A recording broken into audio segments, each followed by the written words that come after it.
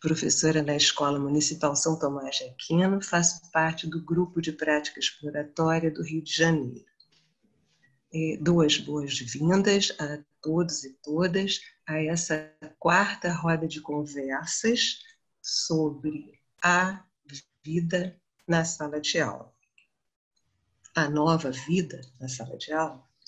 É, agradeço, em nome de todos, a parceria da CCE PUC Rio, do Grupo de Prática Exploratória do Rio de Janeiro, do Departamento de Letras da PUC Rio e do curso de especialização em língua inglesa da PUC Rio, agora 100% online.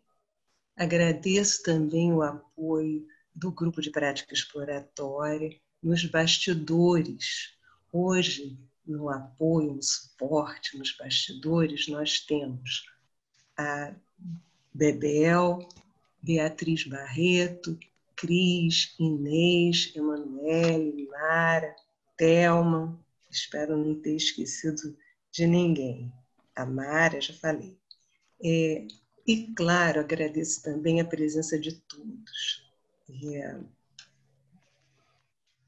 é, nem preciso lembrar que nós estamos aguardando todo esse movimento no chat que vai ser alimentado com as dúvidas, as questões, essa conversa que nós temos lido com muito carinho, estamos acompanhando todo esse trabalho, de, eh, toda essa conversa de vocês e toda essa grande reflexão a cada semana. É, só lembrando de quem não fez a inscrição para a próxima roda, a quinta roda, que faça. É, vai ser nosso encerramento, nossa última roda, e nós estamos preparando desafios, surpresas exploratórias imperdíveis. É, hoje, a nossa reflexão é sobre a formação docente através do olhar exploratório formação sobre é, formação, desculpe, formação entre fronteiras. Vou apresentar com muito prazer Vanessa, Evelyn e Isabel.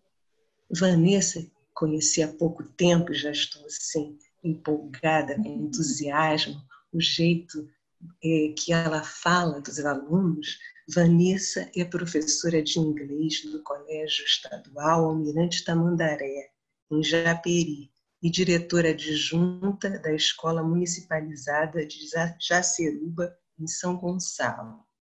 Evelyn, companheira de eventos, é, companheira dos, dos alunos que ela traz para os nossos eventos, para os nossos encontros.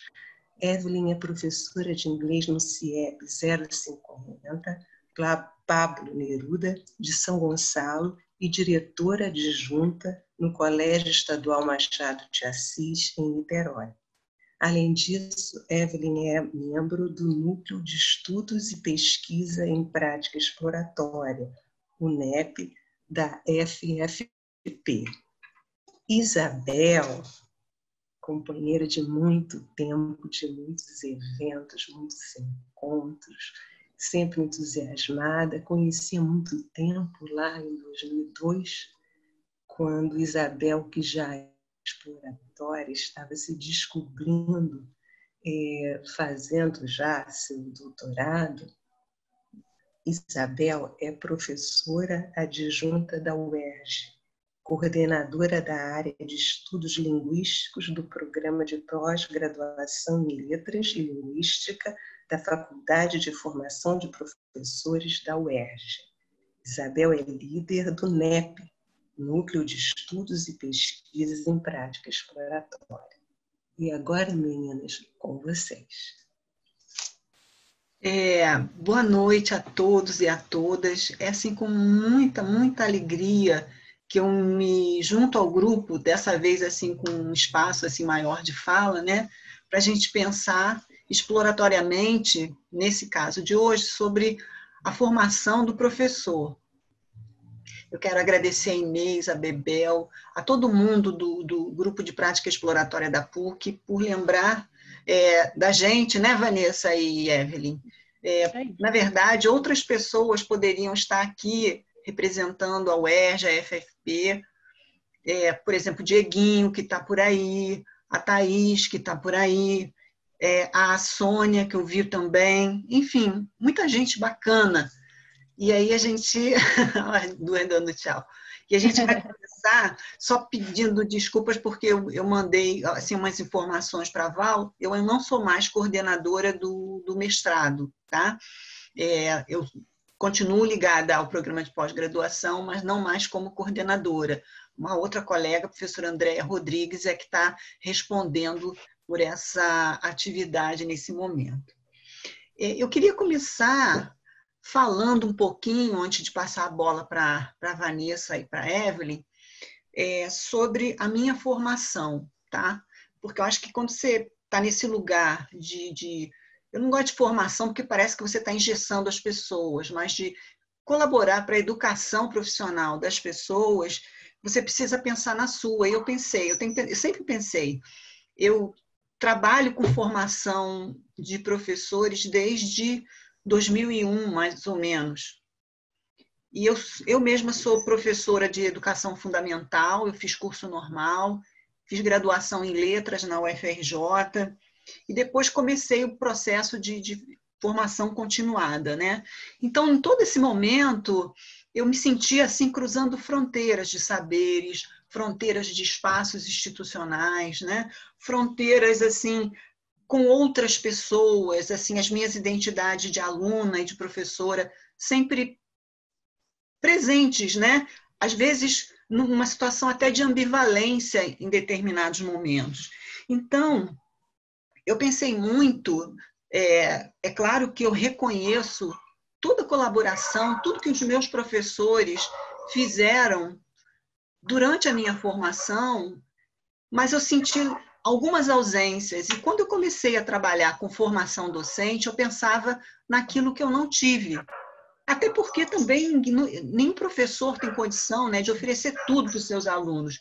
E isso foi bacana, porque me, me, me fez ficar inquieta, procurando outros espaços, outras interlocuções, outras reflexões. Né?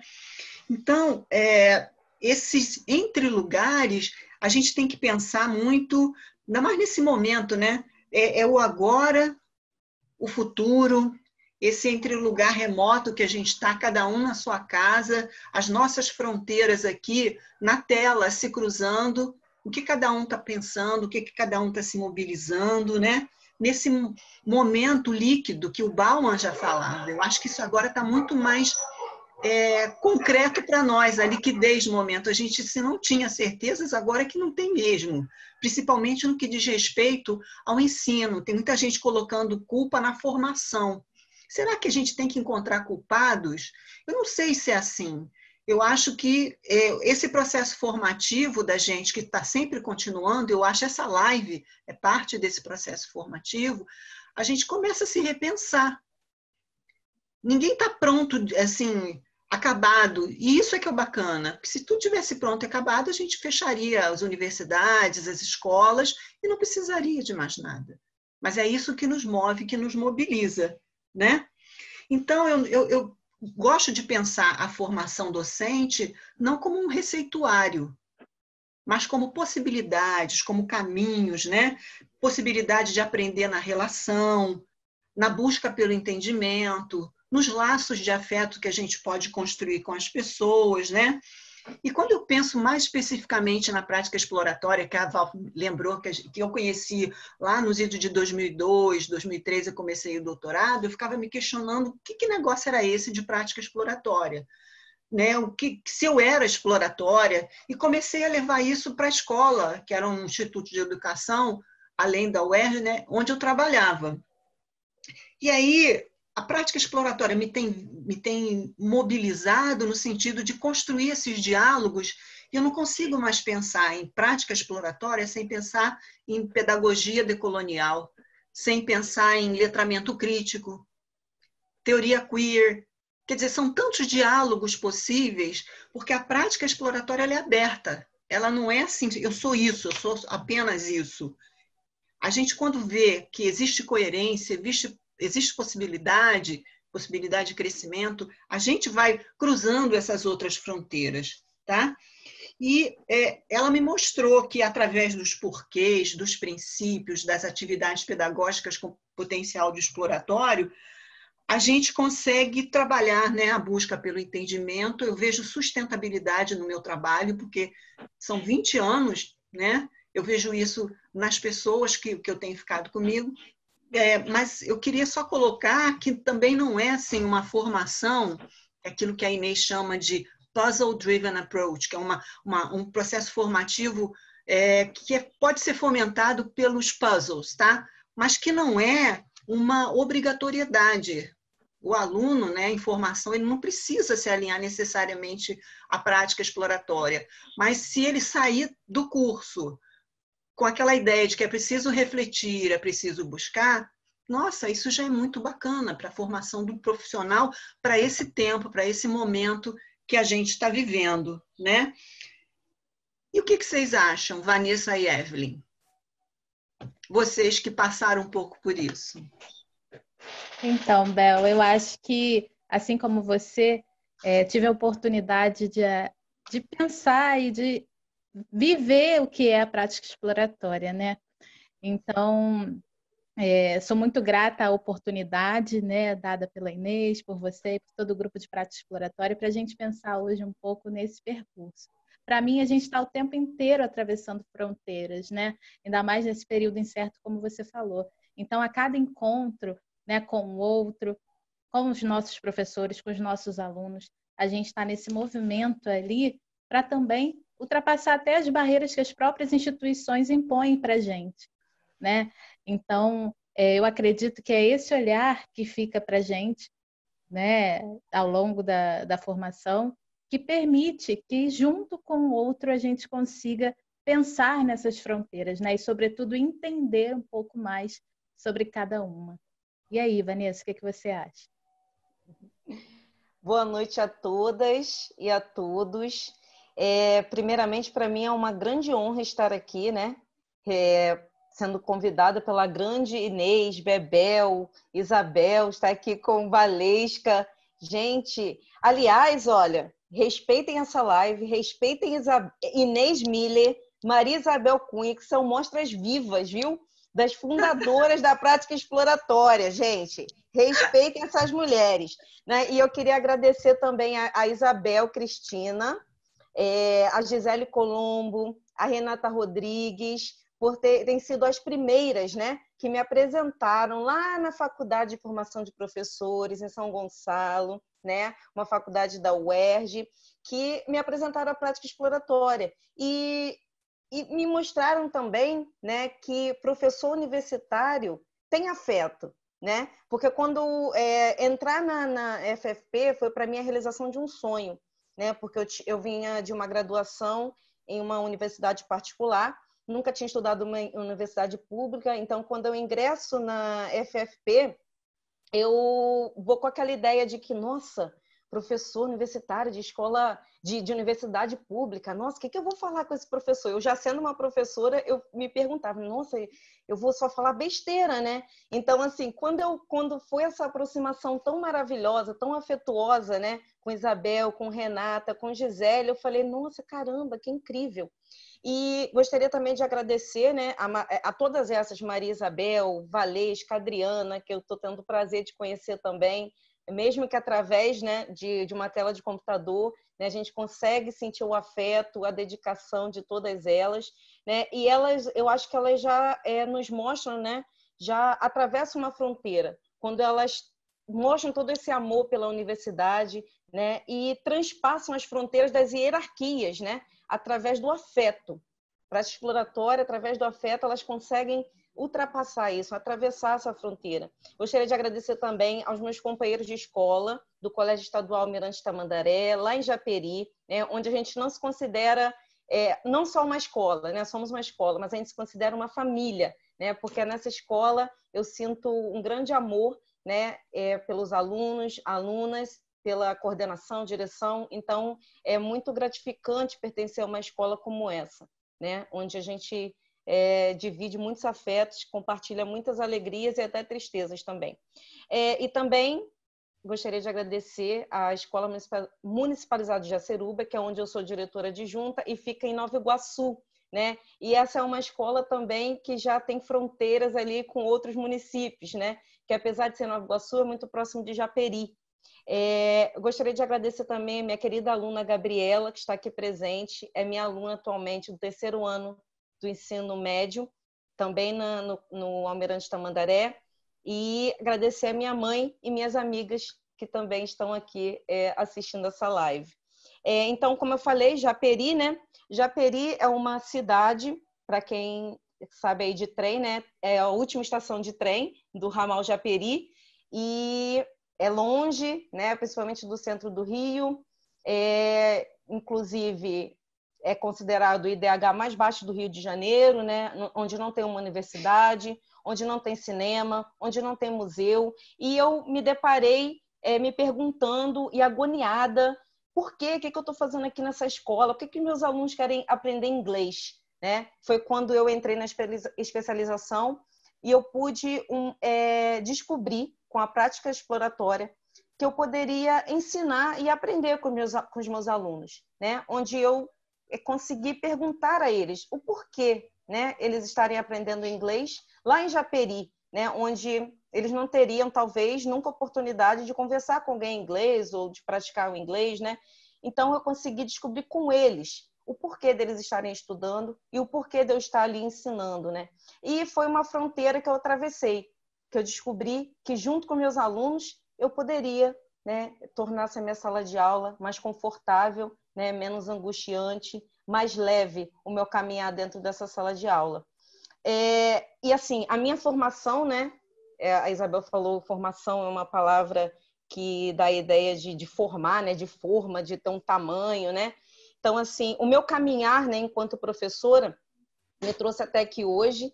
E então, por isso que a minha fala, eu vou ter uma fala o mais natural que eu puder, né? Que é assim que é a nossa formação. a nossa formação é assim, a gente vai vai acontecendo naturalmente. Não tem como a gente, né, é, esquematizar e falar, não, eu vou ser assim nessa aula. É, muda de aula em aula, né? A gente tem três aulas por dia, eu, quanto professora. Cada vez que estou na escola, eu dou três aulas para três turmas diferentes. Em cada turma, eu sou uma pessoa, eu, eu ajo de maneira diferente. É, então, ela me trouxe até aqui, então não decorei nada do que eu vou falar, viu? Então. Gente, essa é a Vanessa. Essa é a Vanessa. É, a, a Vanessa. Tá... Fala, Isabel.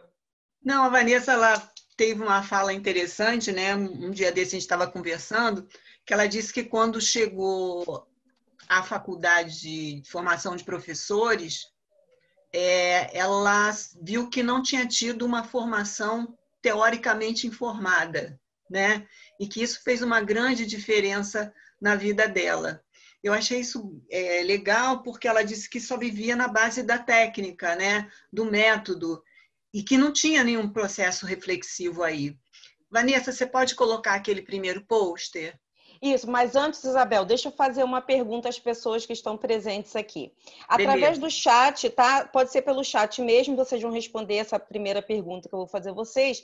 Eu queria saber de quem está presente, quem aqui teve é, treinamento para estar em sala de aula? Estou falando sala de aula quando era na, na escola, tá? Queria que vocês respondessem. Quem teve treinamento para ser professor ou professora, né? Para dar aula em qualquer, pode ser escola particular, escola pública. Quem aqui teve treinamento? Sim, não? Pode colocar sim, nunca. Uma já respondeu. Vale estágio? Vale estágio. Você teve treinamento vale. para estar no estágio? Teve estágio. Olha, vejam, vejam a, a, seleção lessical de Vanessa, treinamento, tá? Isso. Quem teve Isso. treinamento? Sim, tive estágio.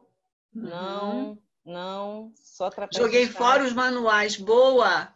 Adorei essa. Muito bom. É isso aí. Isso. É, estágio é uma coisa, agora treinamento, treinamento tem determinados espaços institucionais que a gente tem treinamento, né? Estágio e treinamento para curso de inglês, não. Tive estágio, não. Magistério no ensino médio.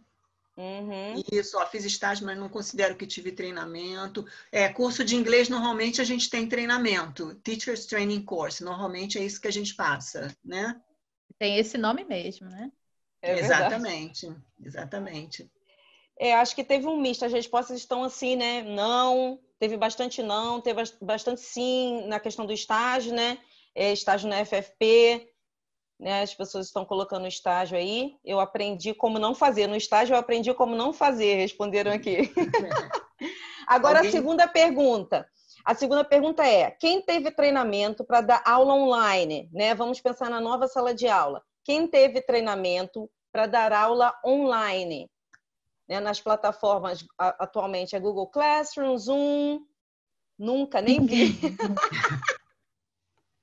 Não, sim, teve alguém que falou que teve treinamento. Não.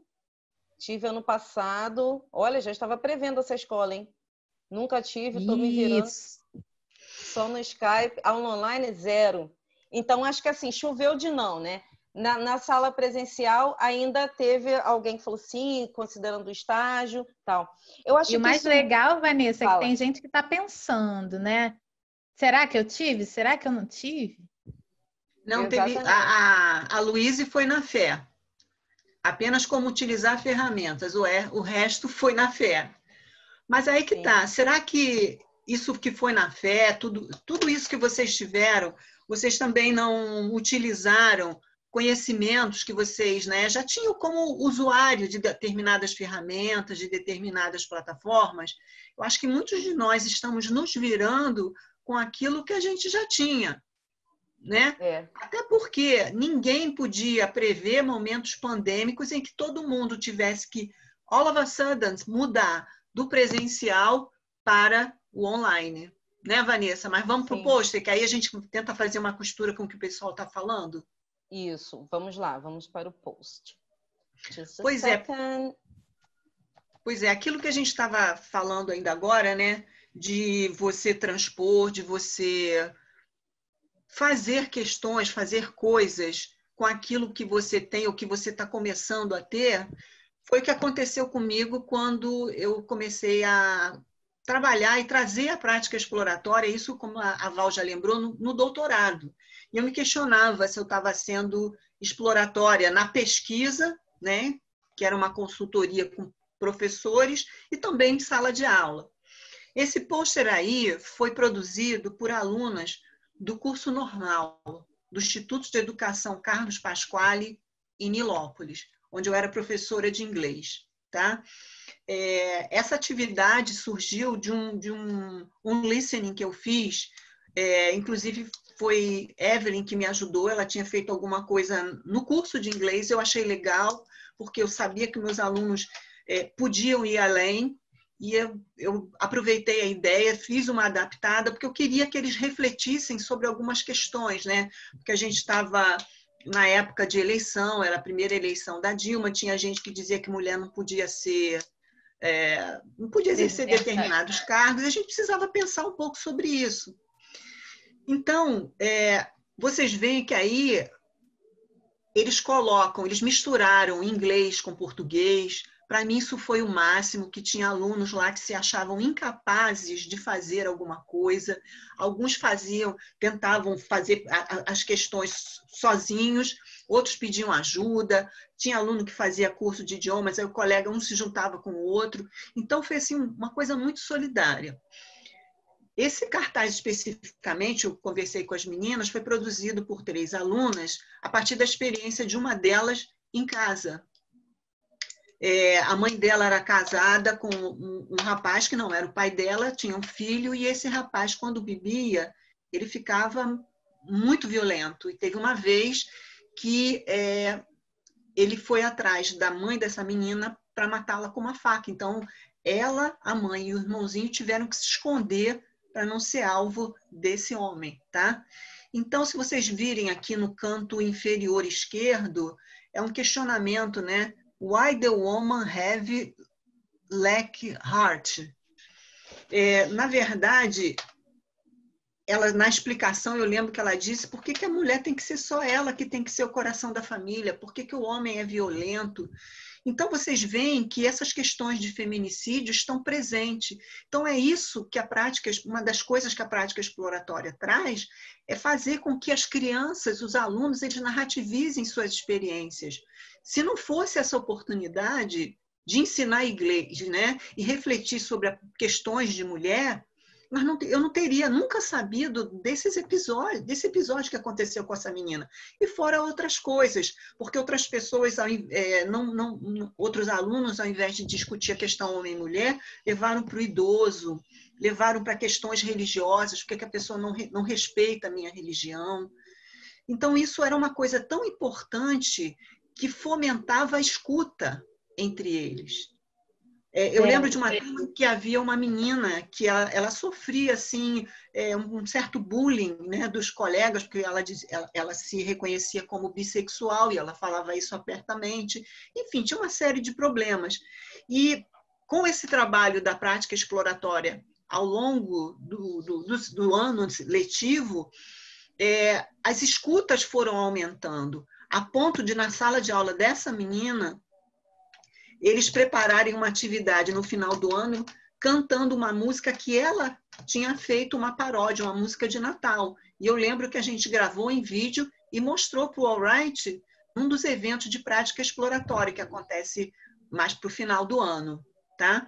Então, vocês veem, era minha tentativa também de partilhar com esses professores em formação no ensino médio esse tipo de proposta, né, de ensinar e, ao mesmo tempo, envolver as crianças para entenderem a vida, né? Essa, essa, essa coisa que existe da vida de dentro de sala de aula e a vida de fora de aula que não estão separadas. Elas estão separadas por uma, uma fronteira, tá? uma, uma parede que pode ser uma, que é uma fronteira perme, permeável, né?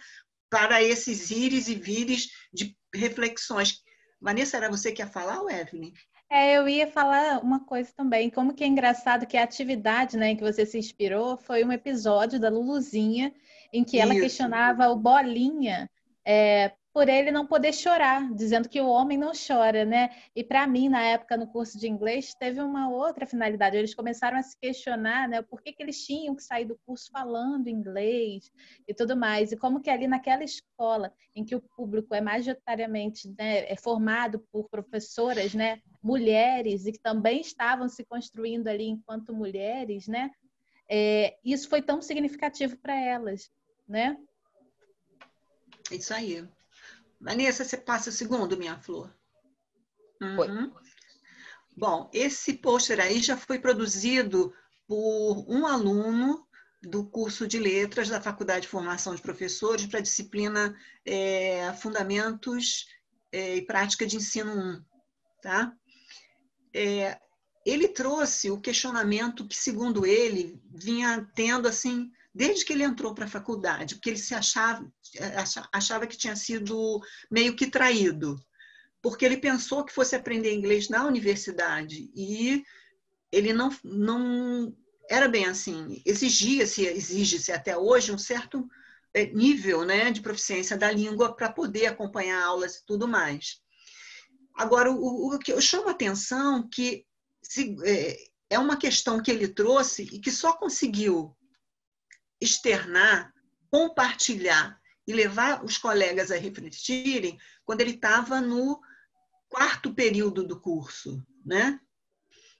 E ele diz, dizia mesmo que ele estava no quarto período, quer dizer, na verdade, essa matéria é no quarto período, mas ele, como tinha cursado algumas que não precisava de inglês e que o inglês veio depois, já estava um pouco mais adiantado. Então, ele, ele questionava por que, que não se colocava no processo seletivo essa informação. Ao mesmo tempo, a gente pensou junto que se colocasse, né, que era preciso ter uma certa proficiência, os alunos lá de São Gonçalo talvez não se sentissem é, motivados a tentar, né, porque São Gonçalo é uma cidade também de uma grande densidade demográfica, muito baixo também, né? Uma cidade com violência. A gente tem aluno que eles são é, a primeira pessoa da família a entrar no curso universitário, não tem ninguém. E é lindo quando a gente vê na formatura aquelas pessoas bem humildes, né? Muito felizes porque o filho conseguiu terminar o curso. Então, isso me fez pensar sobre a necessidade da universidade dar um suporte para esses alunos, para que eles não abandonem, porque senão vai ser, eles vão começar a sair do curso e vão ser excluídos, né? É, me levou a, a, fazer algumas outras questões quando é, eu comecei a trabalhar com língua inglesa 1. Mas isso aí depois a gente conversa. É, Vanessa ou, o Evelyn, Sim. gostariam de falar alguma coisa? É, isso é interessante, né? Só traduzindo a pergunta, é, a pergunta é: é um problema começar um curso de línguas sem saber inglês? E olha só o primeiro ponto que ele responde, né? É um problema, pois o foco não é o ensino do idioma, e sim o uso do idioma como instrumento de trabalho. Isso me remete a, ao livro Pequeno Manual Antirracista, da Djamila Ribeiro, em que ela fala que nas grandes empresas, né, é, é exigido o inglês para ingressar nessas empresas, né? E, e aí a gente vê um baixo é, número, né, de negros, de pessoas é, de classe média baixa, né, ou, ou, pessoas pobres, mais pobres, porque eles exigem coisas que muitas vezes nem é usado na empresa, né? como a questão do inglês fluente. E aí, quando se pergunta essas pessoas das empresas é, se elas usam inglês, elas dizem que não, se, se nunca, muito pouco. Né? Então, às vezes é colocado umas exigências né, que parecem que é para que, que algumas pessoas né, da sociedade não consigam ingressar em alguns lugares. Né? Então, é a questão da universidade, né, do curso de inglês, é, você, ele acaba deixando aí, né, é, colocando para fora essa, esse, essa problemática né, da exigência de se ter o inglês para entrar na, na, em letras, quem quer fazer português e inglês, e isso acaba muitas vezes desanimando muitas pessoas, né? E às vezes impedindo mesmo que entre, como você falou, impedindo que entre, porque a pessoa às vezes quer fazer, porque gosta de ouvir música em inglês, né? Porque gosta de ver séries, tem aquele interesse, já já esboça alguma coisa, escreve, né? A gente tem muitos escritores nas nossas escolas que muitas vezes é, não conseguem é, aparecer, né? Mas aparecer num bom sentido, eles ficam lá escondidos, né? Por não terem oportunidade. Então, assim, se isso né, fosse. Se houvesse uma mudança nesses requisitos, né, eu acho que teríamos muito mais incentivo das pessoas, até mesmo de São Gonçalo, ingressarem no curso de letras, né? Talvez. E o interessante, Vanessa, é que esse professor em formação, além disso, está pensando até nas falas do próprio professor, né? Porque às vezes somos nós também que fazemos essas falas, né? De que o aluno tem que aprender a falar né? Nós ali em formação já estamos muitas vezes já nos cursos de idioma reproduzindo essas falas. Então é um espaço também para ele pensar sobre o que ele faz e também reconhecer o quão importante é para ele como professor de língua também continuar estudando essa língua, né? Sim, é porque é curioso, né? Eu, por exemplo, eu, eu fui, eu, quando eu entrei na universidade, eu já sabia inglês, né? Tanto é que eu acabei sendo monitora na, na universidade em que eu estudei, e para mim a língua ali realmente era só aprender mesmo, só falar, não tinha nenhum sentido é, reflexivo, eu não refletia sobre a língua naquele momento, né? Então, assim, para mim é muito importante quando eu me encontro com a prática exploratória, porque eu preciso, na minha sala de aula, para mim não, ser, não, adianta eu saber inglês para caramba, eu ser fluente na minha sala de aula, né? Eu precisava saber ensinar aquela língua, né? E como que eu poderia ensinar os meus alunos de uma forma que fosse significativa e fizesse sentido para eles? Não adianta chegar lá e eu colocar duas opções para eles e aquilo ali, aquela língua não fazer sentido algum, né? Ele não puder falar da realidade dele, falar no, no meu caso de Japeri, né? Se ele se eu perguntar para ele, where is London? Onde fica London? What do you know about London? Onde é London, né? Agora se perguntar, uh, what do you know about Japeri? Né? E aí ele vai se encontrar nessa língua, nessa aprendizagem, né? E isso que é isso. o mais delicioso da prática exploratória. É, eu acho que você está falando uma coisa muito importante, porque é, quem vai ser professor da língua, ele tem que construir alguma proficiência, né? É, é, claro que é uma coisa complexa. Quando ele entra na universidade, ele precisa de um suporte se ele não tem essa sua proficiência, porque ele pode conseguir, ele vai conseguir, e a gente tem que mostrar para ele que ele, ele pode, né? Ou, ou, lembrar, porque às vezes a pessoa está tão assim é, constrangida por tanta coisa que fica achando que é incapaz, mas ela não é. Eu acho que a gente precisa dar essa força. Vamos para o próximo? Esse aí também foi construído por um aluno que é, ele estava estudando língua inglesa e, e, tinha conseguido, se não me engano, fazer alguma disciplina de metodologia, né? Então a gente, o que chamou a atenção a gente, porque a, as meninas me ajudaram a escolher alguns pôsteres, é como esse professor em formação ele está atravessado pela violência. Ele reconhece que o Rio de Janeiro, embora ele, porque ele era de, de São Gonçalo, né? Mas São Gonçalo e Rio são muito próximos, então a reflexão dele envolveu a cidade do Rio de Janeiro também. Continua linda assim a cidade, né? Assim como Niterói, né? E São Gonçalo tem uma vista para o mar muito bonita. Mas ele estava chamando atenção, como é que se pode, né? Você está na sala de aula com tantos episódios de violência ao seu redor. Então, isso já acende uma luzinha amarela, porque o aluno que está com a gente na sala de aula, será que a gente tem um espaço de escuta para saber o que, que ele está trazendo? Muitas vezes, o que é considerado desinteresse, falta de atenção, pode vir de algum drama vivido e não partilhado, né? É, é só ver as perguntas que ele fez. Você já deixou de ir à aula devido à violência? A gente que trabalha lá em São Gonçalo, a gente já teve suspensão de aula na universidade por conta de violência. Sim. O legal é que ele traz, se a gente pensar na, na perspectiva imagética, a forma como ele colocou, né, do lado esquerdo, todo um cenário de violência, e do lado direito, alguma coisa que já mostra, já é mais inspirador, é liberdade. A gente tem um morrinho é que eu não sei se dá para ver, mas esse morrinho é feito de palavras em inglês e português. Tanto violence, prejudice, racism, quanto love e, e outras palavras mais positivas, né? Tanto em português quanto em inglês. E tem uma bandeira branca, porque é isso que a gente precisa mesmo nesses tempos pandêmicos, a gente tem ouvido falar, né, infelizmente, de episódios de violência de várias formas, né? É, inclusive dentro dos lares, com episódios de, de feminicídio. Então, isso tudo, é, mesmo nesse estar à distância, a gente pode estar com um aluno online, mas a gente não sabe o que, que ele está vivendo. Né? E, e, Isabel, é... teve essa sensibilidade. É.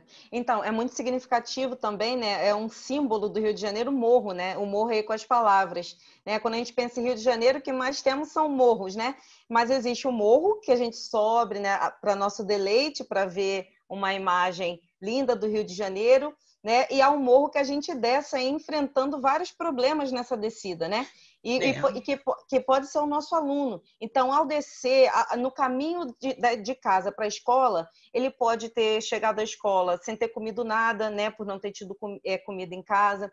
Ele pode ter chegado, acabado de ver uma violência acontecendo até mesmo dentro da sua própria casa, ou mesmo no caminho, né?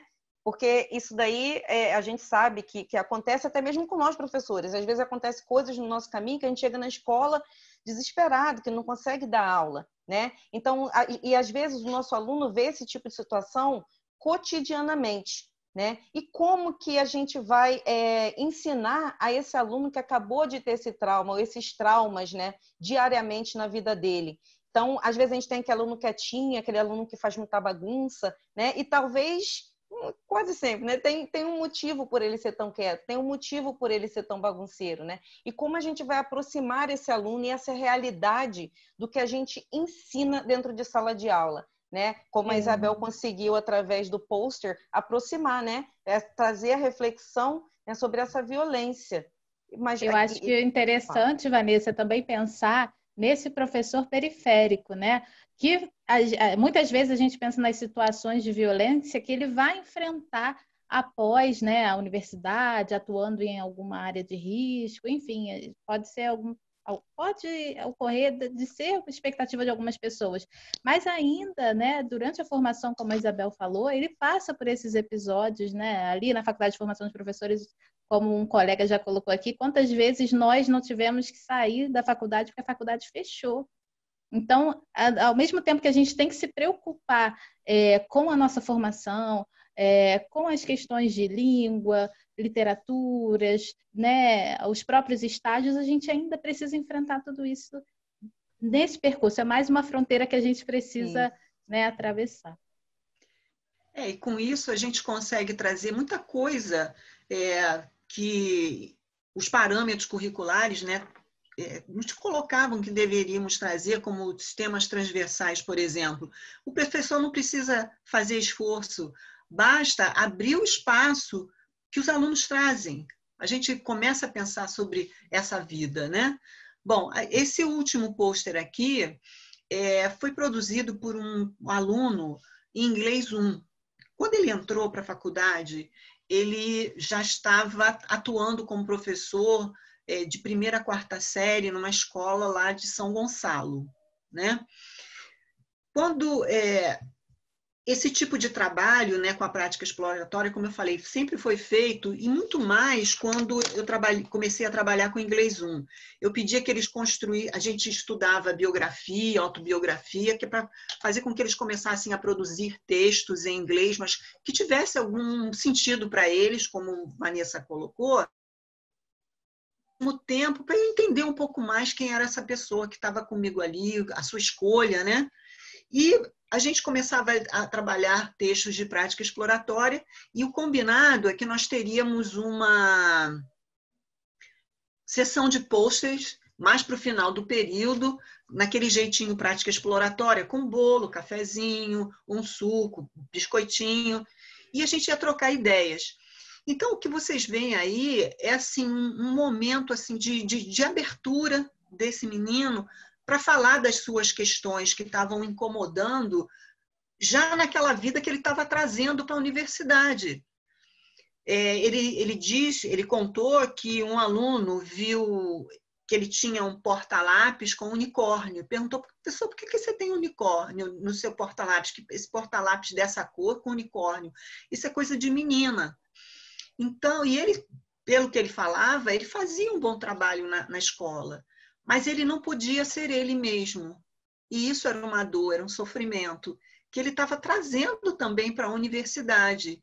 E ele sentiu naquele espaço o acolhimento para se colocar. E como eu falei, né, que aconteceu na escola do ensino médio, toda vez que a gente faz esse trabalho com prática exploratória, por isso que a gente diz assim, a gente não, não trabalha para mudar, a gente não trabalha para resolver a vida de ninguém, mas as transformações vão acontecendo, as escutas, né? as, as parcerias, como um, uma, um coração acolhe o outro.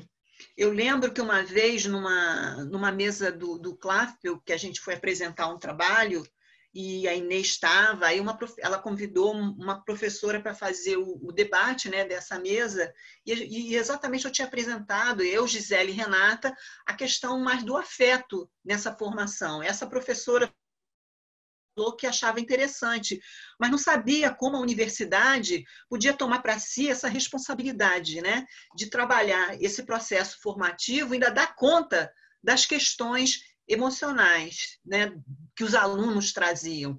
É claro que a gente não tem resposta, mas uma coisa que a gente sempre fala, né, Inês fala e tudo, que é uma coisa assim meio é, terapêutica quando a gente fala com isso, sobre as questões, né? Eu acho que a gente se entende mais, a gente entende mais o, o outro ser humano. Por isso que a Vanessa achou, ah, porque como é? Eu vou estar tá com professoras, doutoras. Isso é uma coisa assim que você título deixa para lá. Somos humanos, é isso que nos move, que nos, nos é, aproxima. E a prática exploratória tem permitido muito isso para muita gente. É claro que a prática exploratória é um caminho, existem outras pessoas com outras né, possibilidades, fazendo coisas também muito legais e que a gente consegue travar um diálogo mas para nós é o que tem nos ajudado, que tem nos encaminhado, né? E isso é o que tem ajudado também a, muitos de nós a construir as nossas aulas, né, Vanessa? Com certeza. E assim, essa atividade, esse poster, né, que do unicórnio, é, mostra uma forma de emancipação, né, que o aluno teve, uma oportunidade de fala, provocou a refletir, a emanar os afetos. Né? E eu tenho certeza que depois desse poster, depois dessa apresentação diante de toda a turma dele, com certeza a relação né, se tornou muito mais é, próxima com os colegas de classe, né? Porque ele começou a ser ele, né? Ele começou a falar, ó, oh, tô aqui falando quem eu sou. Tomara que vocês me aceitem, né? Depois disso. E assim, pelo como é que foi esse processo, né, Isabel? Você pode falar melhor que você estava nessa sala de aula, mas eu acredito que tenha sido de aproximação nesse momento, né? Ah, com certeza. Até porque outras pessoas na sala de aula também partilhavam desse sentimento, né? E aí o que eu acho é, é legal assim também frisar é como, quando os alunos são chamados né, a fazer planejamentos de aula, normalmente em Fundamentos 1, que eles não têm que fazer obrigatoriamente um planejamento, mas eu desafio, né, convido e convoco, e eles podem escolher o que eles quiserem. Normalmente eles começam com um tema de gramatical, simple present, adjectives, pronouns, tal.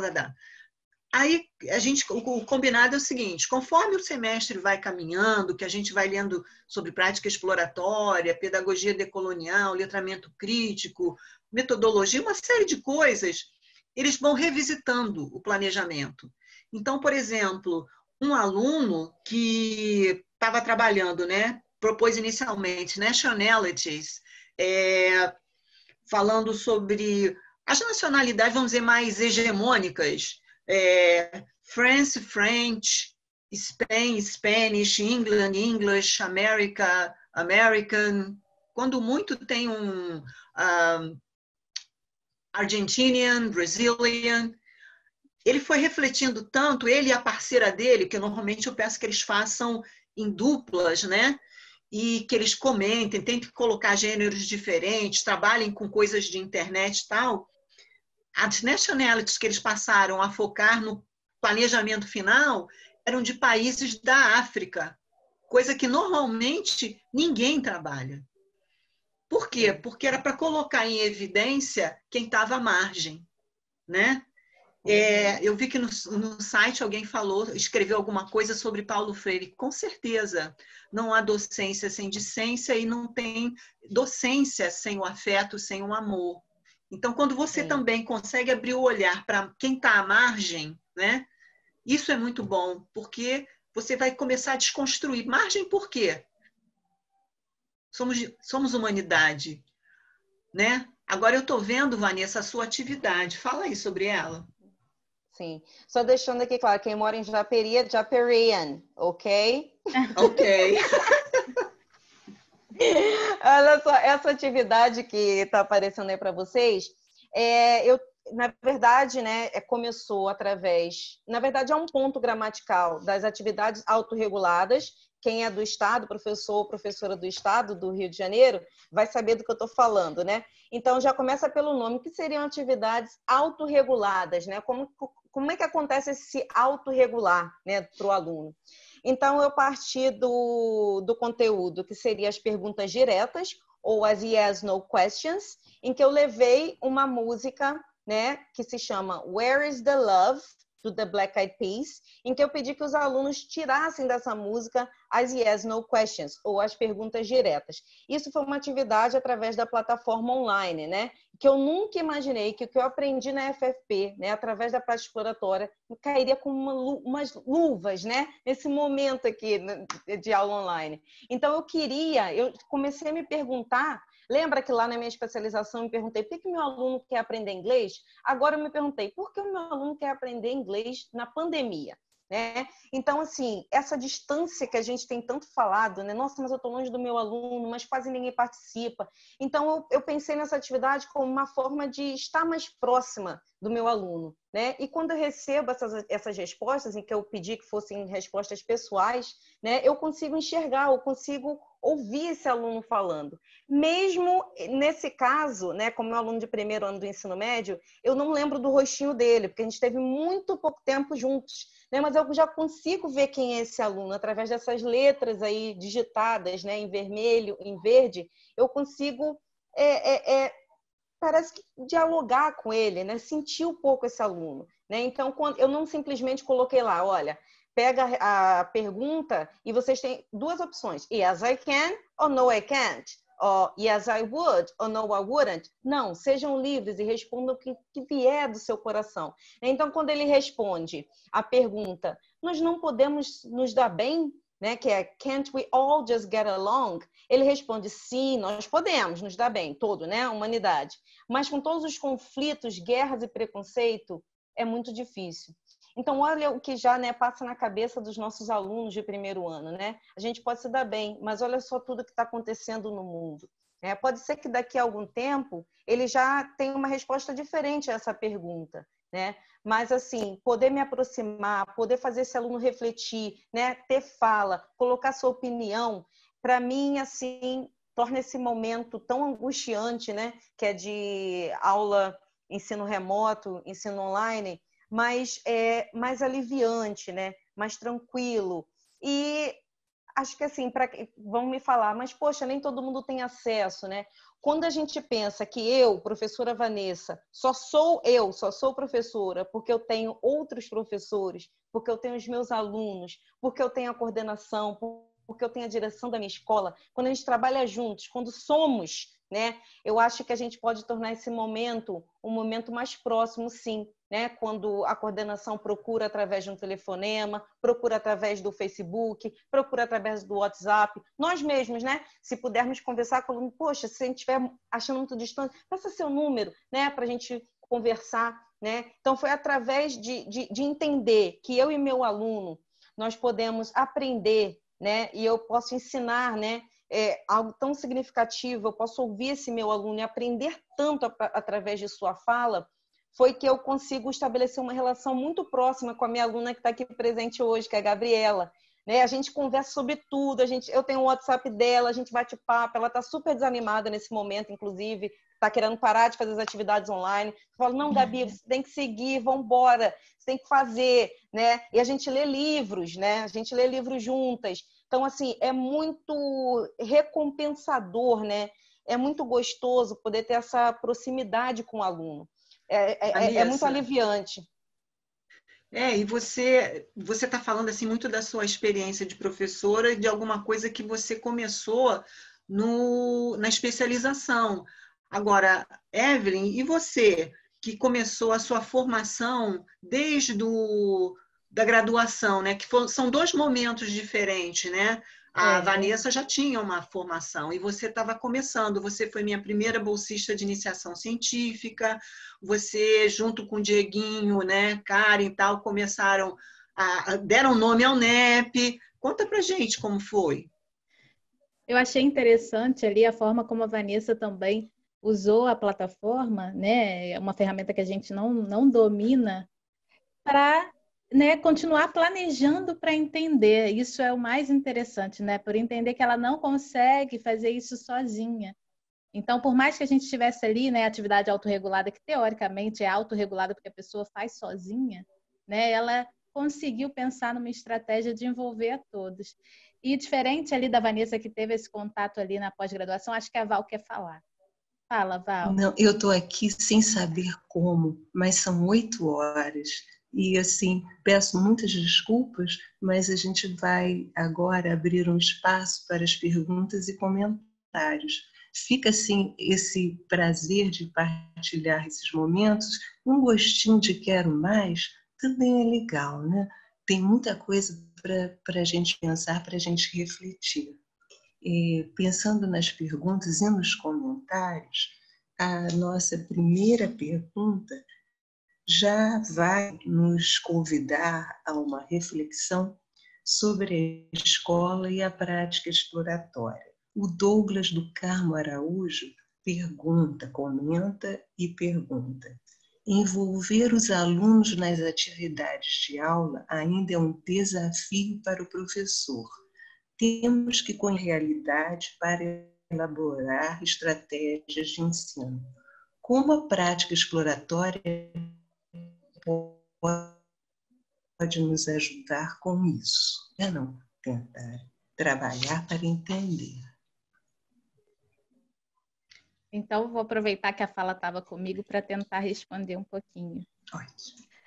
É, como a Bel falou, a minha formação ali foi toda na, na prática exploratória, até o momento da gente né, pensar no NEP, muito motivados pelo que a gente pensava ali, com as leituras que a gente tinha sobre identidade e tudo mais. Mas a gente percebeu que em algum momento o que ligava a gente era mesmo o afeto. Então, eu acho que o que, como a prática exploratória pode é, ajudar, é, não sei, a nossa preocupação na época era o que ia ficar para o outro, né? No momento em que a gente fazia as pesquisas e que a gente refletia sobre a nossa formação nos nossos projetos de pesquisa. Mas eu acho que o mais interessante é sempre tentar envolver, ouvir esse aluno, né? Esse, o meu olhar exploratório me ajuda a partir do momento em que eu considero que o outro também é, ele planeja aquela aula comigo, não sou eu que sou a professora da turma, que estou sempre ali tendo que ter esse controle. Então, eu acho que a partir do momento que você propicia momentos de oportunidade de aprendizagem, tanto para o professor, né, para você, porque a gente sempre tenta pensar no outro, né, no aluno, mas considerar que você ali também é aprendiz e que ele também tem muito para te ensinar. Eu acho que a questão fundamental é o seguinte: você está na sala de aula, você tem conteúdos a trabalhar, né? Você está numa instituição, isso você não pode fugir. Mas como você está falando, Evelyn, essa escuta é muito importante para a gente ver como a gente pode agregar uma coisa a outra. Que atividades eu posso planejar para que meu aluno tenha um espaço para se colocar, para que ele pense sobre as suas questões. Eu lembro que, se eu não me engano, foi um aluno da Val o da Solange, que questionava por que tinha que usar aquele uniforme do município do Rio de Janeiro, que à época era um uniforme laranja, esteticamente horrível. Você pode pensar, poxa, mas isso aí nada a ver. Não, para ele tudo a ver, porque ele sofria bullying quando pegava ônibus e tinha que estar com aquele uniforme. Então, se você não leva em consideração essas questões que para você adulto pode ser pouco, mas para ele, adolescente, é muito, é constrangedor, né? Então, eu, eu lembro é, a própria Val, com aqueles posters que vocês já viram, né, dos fantasminhas e tudo mais. Então, é essa oportunidade de escuta que vai nos levando a fazer coisas, a planejar coisas, que aí a gente não controla o aluno. Eles se autorregulam, né, Val? Eles vão caminhando de uma forma que eles viram parceiros do professor. Eu lembro que tinha aluna minha que perguntava assim, é, como era um, um curso de, normal, né? Aquilo que eu falei a vocês, eu cantava aquelas musiquinhas que todo mundo sabe. Row, row, row your boat gently down the stream. Ah, elas adoravam. Aí teve um grupo uma vez que falou, professora, a gente pode fazer isso aí num, numa batida de funk? Eu falei, pode. Mas eu falei, mas aí para vocês fazerem com batida de funk vai ter que ter coreografia. Ela, opa, eu falei, é. E, e falei, então na aula que vem pode ser? Pode. E foi uma felicidade, todo mundo, sabe, dançando Roll Your Boat na sala de aula, funkeado. Aprenderam inglês, ficaram felizes e todo mundo meu parceiro, não tinha ninguém brigando nem gritando na sala de aula, sabe? Mas eu não fiz pelo controle, eu fiz porque eu senti que eles queriam, ai, e estava bom. Né, Val? Olha só, gente, a Beatriz Lacombe pergunta: vocês já tiveram algum momento em que não conseguiram lidar com as questões trazidas pelos alunos? Estou adorando as experiências, mas às vezes me questiono o que faria se a questão de um aluno fosse rejeitada ou minimizada ou criticada por outros. Olha, eu não sei as meninas, mas até hoje eu acho que assim foi uma, quase uma saia justa, mas foi uma coisa tão legal que foi é, quando um aluno perguntou por que, que a turma, por que, que o pessoal não respeitava a religião dele e das outras pessoas que fizeram pôster com ele. Porque eles eram é, profitentes de uma religião de matriz africana. e a maioria dos colegas da sala de aula eram evangélicos. E a gente sabia que tinha isso mesmo. Então, eles fizeram assim, uma fala comovente de como eles sofriam. É, eu fiquei preocupada, porque eu não sabia qual ia ser a reação. E a gente e poderia ter sido uma reação diferente, mas o que a gente teve foi escuta. A coisa meio que diminuiu. Não vou dizer que acabou, sabe?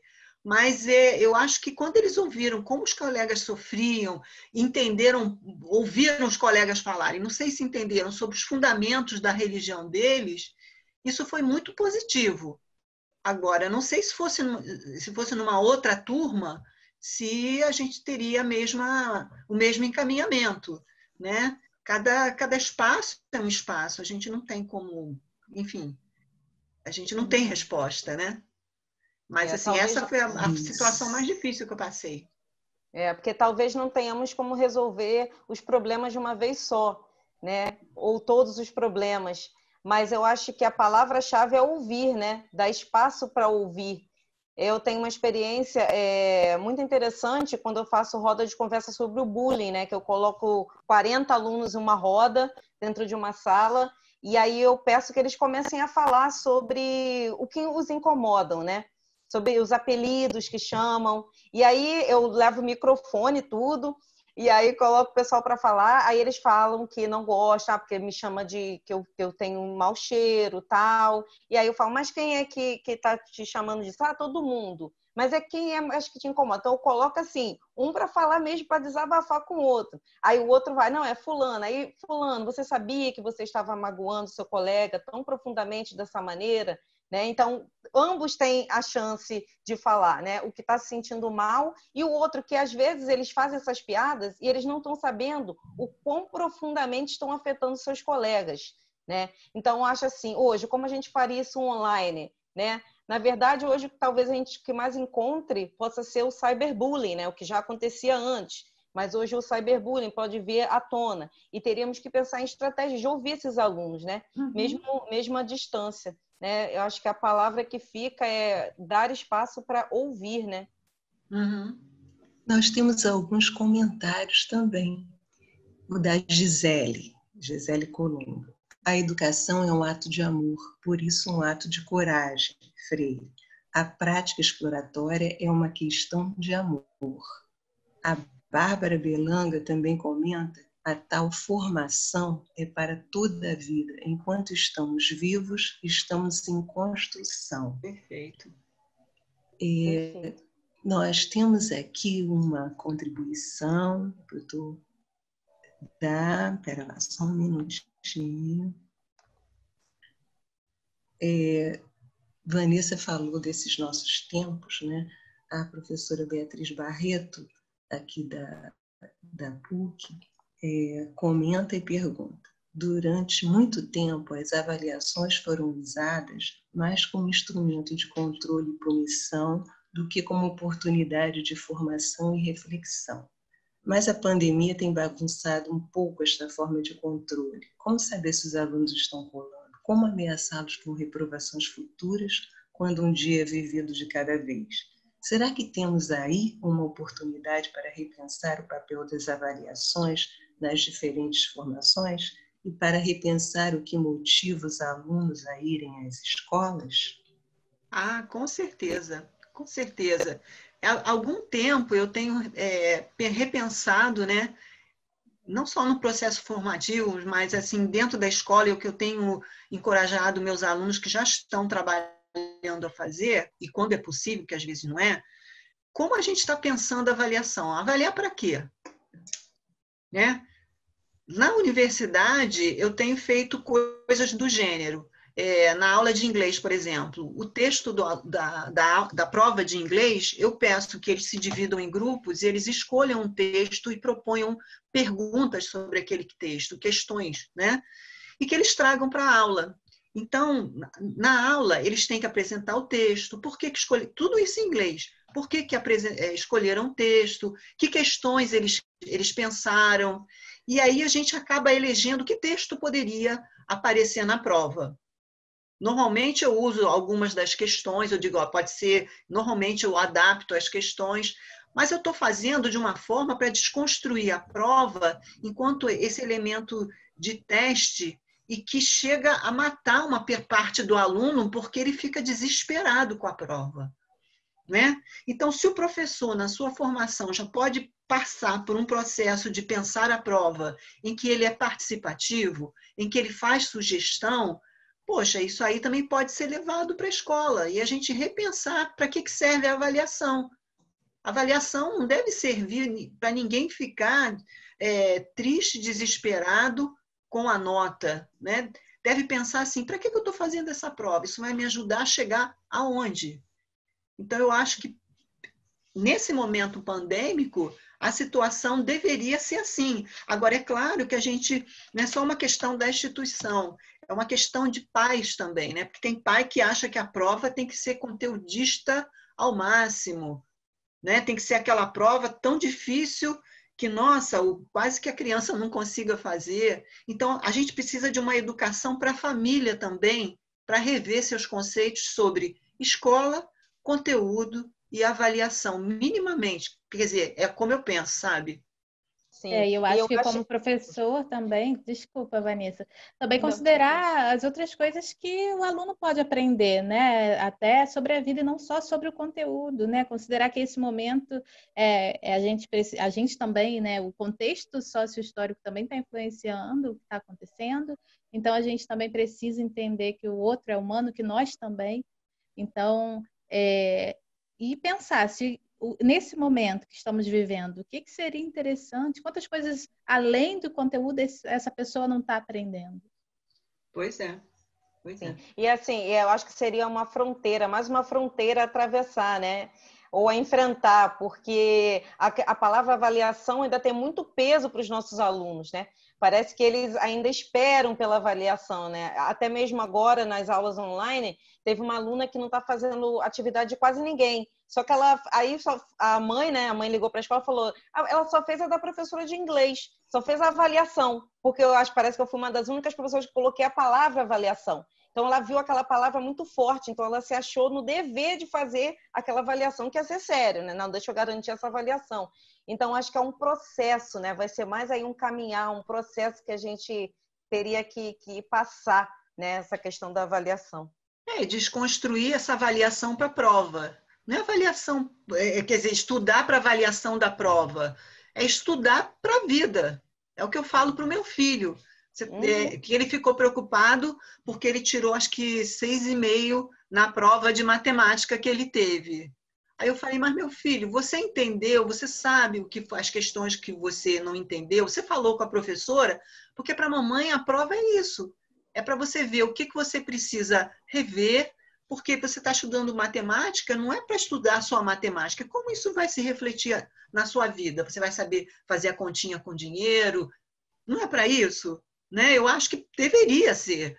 O que, que eu vou fazer desse conteúdo? A gente estudar para fruir também é bom, mas também tem o que, que isso está me ajudando na minha vida de cidadão, né? Juntar tudo isso na complexidade e não estudar para eu ser avaliado, porque aquela nota diz o que eu sou. Aquela nota não diz o que eu sou. Não diz. Exatamente. Não diz mesmo. Isso. Olha só, um outro ponto que surgiu é sobre a proficiência. O Rubens pergunta: Estou percebendo que a PE tem um conceito particular diferenciado do que é ser proficiente numa língua. É isso? Se for, qual? Eu não acho que seja uma, uma diferença do que seja proficiência. Eu acho que a gente trabalha é com o que as pessoas trazem para construir a partir daí. Porque a gente sabe que professor de língua ele vai ter que ter minimamente uma proficiência naquela língua, senão ele não é professor daquela língua. Você não pode só estar tá com o aspecto metodológico afinado e você não ter nada da língua para ensinar, não é? O que a gente talvez não tenha deixado muito claro é que, por exemplo, lá na, na, na FFP, a gente tem muito aluno que, que consegue passar pelo exame né, o vestibular, quando chega, ele precisa de ajuda. E muitos estão pedindo ajuda. né? A professora Gisele, por exemplo, ela está montando um, um, um trabalho agora para ter conseguir dar suporte aos alunos. Quer dizer, agora eu não sei como vai ficar por causa da, exatamente da questão online. Eu já tive monitores que me ajudaram em inglês 1, dando suporte. Eu não sei se o Diegão está aqui com a gente hoje, mas ele e o Kleber me ajudaram muito. Se alguém até se interessar, tem um texto que eu escrevi com a Inês sobre é, letramentos, e a gente relata uma experiência em que ele, para colaborar com os colegas, né, é, a, a construírem proficiência, ele partiu como professor exploratório de uma situação de racismo que ele presenciou para fazer os colegas pensarem sobre racismo, inclusive naquele espaço institucional, naquele campus, e foi uma coisa linda. Ele trouxe textos é, da internet, fez é, dinâmica na sala de aula, usou é, sob a minha supervisão, ele construiu atividade pedagógica com potencial exploratório. Os alunos fizeram pôsteres, sabe? E, e, e, todo mundo trouxe a sua experiência. De... Até porque na nossa sala de aula tinha muitos meninos e meninas negros que viviam aquilo cotidianamente, mas que não tinham parado para pensar, né? Então ele fez um, um trabalho para construir proficiência com eles, né? A partir de alguma coisa significativa. Foi o Rubens que perguntou?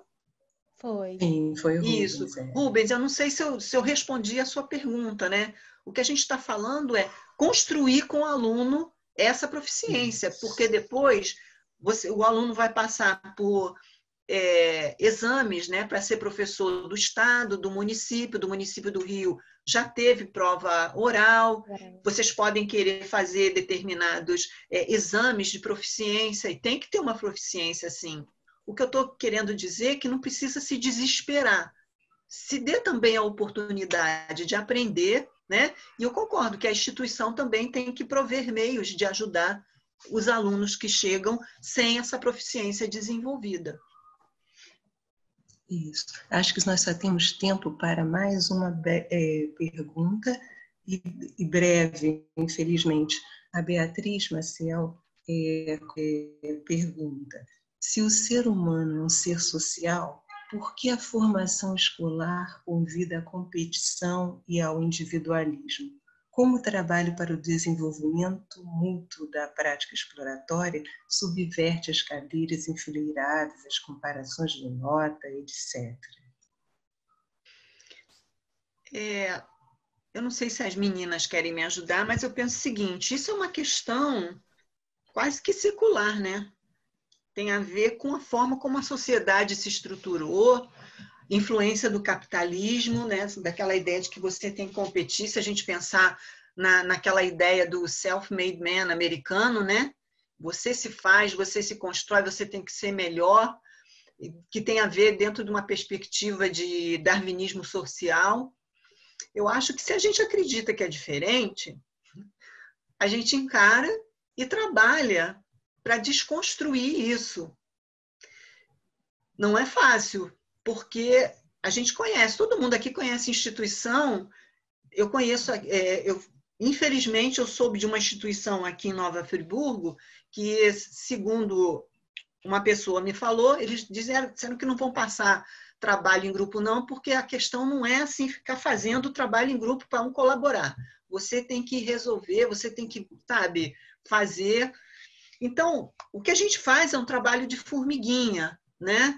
É, é, é, é na, nos entre-lugares, nas fronteiras, a gente vai começando a fazer a criança questionar, o adolescente questionar, para ver se sensibiliza. Porque eu não vou mudar a cabeça do outro, mas eu posso construir espaços de reflexão e discussão em que essas questões podem ser colocadas. Eu lembro de um texto que eu li sobre hum, emotional scaffolding, Andaime Emocional. Eu esqueci o nome do autor, depois se alguém quiser eu até relembro. Que ele fala, é um professor de história.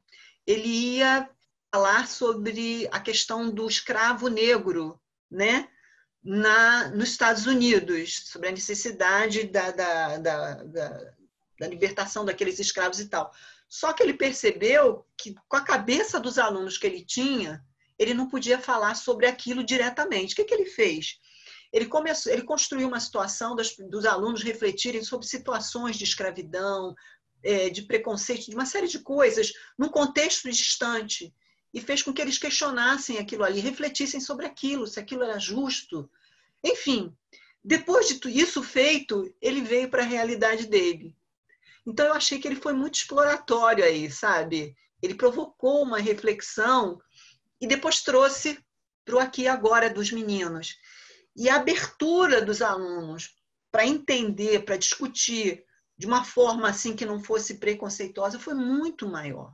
Então eu acho que são questões como essa que a gente precisa fazer e a prática exploratória, eu acho legal que a gente diz assim, que a gente não quer mudar, até porque eu não sei que eu vou mudar, eu não posso dizer que eu vou mudar pessoas que têm suas cabeças, têm suas crenças, têm tudo seu, mas eu posso colaborar para o diálogo, para a reflexão, para a transformação, porque a, a prática exploratória é plural.